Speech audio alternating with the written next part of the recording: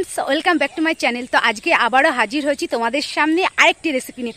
তো আজকে রেসিপিটা কি দেখে তো বুঝতেই পেরেছ? হেলাঞ্চা তো আজকে হেলাঞ্চা শাক দিয়ে শোল মাছের ঝোল করব। তো বন্ধুরা, এই হেলাঞ্চা শাক আমাদের ভাবে যদি তোমরা রান্না করে খাও, তাহলে একটু তেতো লাগবে না, এটা আমাদের গ্যারান্টি তো বন্ধুরা, আমার মা কী করে তোমাদের এই রেসিপিটা করে দেখায়, তো তোমরা অবশ্যই কিন্তু না টেনে পুরোটুকু দেখবে। ঠিক আছে? আর বন্ধুরা ভালো লাগলে আমাদের এই ভিডিওটাকে একটা লাইক করে দিও, আমার চ্যানেলটাকে সাবস্ক্রাইব করে দিও, পাশের বেলটা অন করে দিও। আর বন্ধুরা, কেমন লাগল আমাদের এই ভিডিওটা কমেন্টে কিন্তু অবশ্যই জানিও, ঠিক আছে? মায়ের শাক ছেঁড়া হয়ে গেছে, এখন মা বসে পড়েছে শাকটাকে ভালো করে বেছে নিতে। তো বন্ধুরা, ভালো করে কিন্তু দেখে দেখো মাঝখানের, এই দেখো কচি পাতা, তো এটাকে এভাবেই ছিঁড়ে ফেলে দিতে হবে। হ্যাঁ ফেলে দিলাম। আর সাইডেও দেখো পাতাগুলো ওই দেখো। ওই পাতাগুলো কিন্তু ফেলে দিতে হবে। তো এইভাবে প্রত্যেকটা হেলাঞ্চা থেকেই এইভাবেই কচি পাতাগুলো ফেলে দিতে হবে। তারপর মাঝখানের থেকে একটু ছিঁড়ে দিলাম, হয়ে গেল। তো এইভাবে প্রত্যেকটা হেলাঞ্চা শাককে আমরা রেডি করে নেব। রেডি করে ভালো করে ধুয়ে নেব। আর দেখো বন্ধুরা, এইভাবে কিন্তু কেটে নিয়েছে আর মায়ের ভালো করে শাকটা ধুয়ে নেওয়া হয়ে গেছে। আর এই দিক দিয়ে মা উনানটাও ধরিয়ে দিয়েছে। এখন কড়াইতে দিয়ে দিচ্ছে জল। এখন এই জলে দিয়ে দেবে এইভাবে কেটে রাখা আলু। আলুটাকে ভালো করে সেদ্ধ করে নেব। দিয়ে দিলাম একটা ঢাকনা।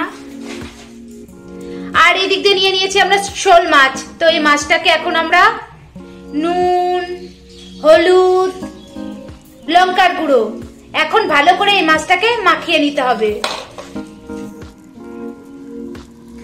এখন ঢাকনাটা খুলে দেব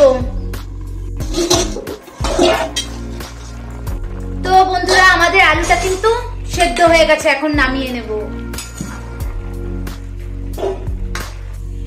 কড়াইতে দিয়ে দিচ্ছি সর্ষের তেল। এখন এই তেলে দিয়ে দেব মাখিয়ে রাখা শোল মাছটাকে এখন ভেজে নেব।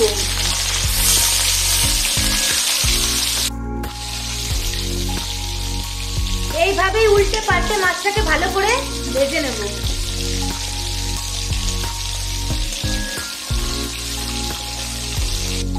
মাছটা ভাজা আমাদের হয়ে গেছে, এখন মাছ ভাজা তেলেই ভেজে নেব হেলাঞ্চা শাক এইভাবেই নেড়ে চেড়ে কিন্তু এই শাকটাকে ভালো করে ভেজে নিতে হবে।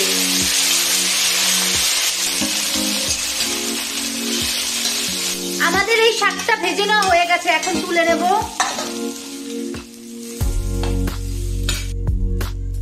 এখন কড়াইতে দিয়ে দিচ্ছি সর্ষের তেল। এই তেলটা একটু গরম হয়ে আসলে এতে দিয়ে দেব। তেজপাতা, শুকনো লঙ্কা, গোটা জিরে, ফোড়ন। এখন এগুলোকে সামান্য একটু নেড়ে চেড়ে নেব। এখন এতে দিয়ে দেব সেদ্ধ করা আলু। এখন এতে দিয়ে দিচ্ছি স্বাদ মতো নুন, হলুদ। এখন ভালো করে নেড়ে চেড়ে আলুটাকে ভেজে নিতে হবে। আলুটা ভাজা হয়ে গেলেই তারপর এতে দিয়ে দিতে হবে পরিমাণ মতো জল। আমরা দিয়ে দিচ্ছি। তো যার যেমন সবজি, সে সেরকম হিসাবে জলটা দেবে। এখন এই ঝোলেই দিয়ে দিচ্ছি শুকনো লঙ্কার গুঁড়ো। তরকারি ঝোলটা ফুটে আসলে এতে দিয়ে দিতে হবে ভেজে রাখা হেলাঞ্চা শাক। এখন শাকটা দেওয়ার পর একটু নেড়ে চেড়ে দিচ্ছি। আমার মা তোমাদের যেভাবে করে দেখাচ্ছে, তোমরা যদি ঠিক এইভাবেই করো, তাহলে তোমাদের একবার খেলে বারবার খেতে ইচ্ছা করবে এই রেসিপিটা এখন এতে দিয়ে দিচ্ছি ভেজে রাখা আমাদের শোল মাছ। শোল মাছটা দেওয়ার পর আবার একটু নেড়ে চেড়ে নেব। নেড়ে চেড়ে ভালো করে জাল করে রেসিপিটাকে করে নেব।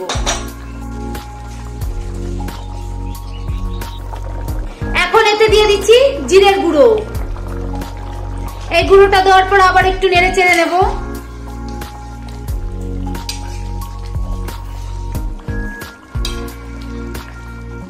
আমাদের রেসিপিটা রেডি তো এখন আমরা নামিয়ে নেব। তো দেখে বুঝতেই তো পারছ বন্ধুরা, আমাদের রেসিপিটা কতটা দারুণ হয়েছে। আমার মা তোমাদের যেভাবে করে দেখাল, তোমরা ঠিক সেভাবেই করবে। তাহলে তোমাদেরটা কিন্তু একদম পারফেক্ট হবে। তো বন্ধুরা, এভাবে কিন্তু অবশ্যই তোমরা রেসিপিটা রান্না করে খেও ঠিক আছে? তাহলে আজকের মতো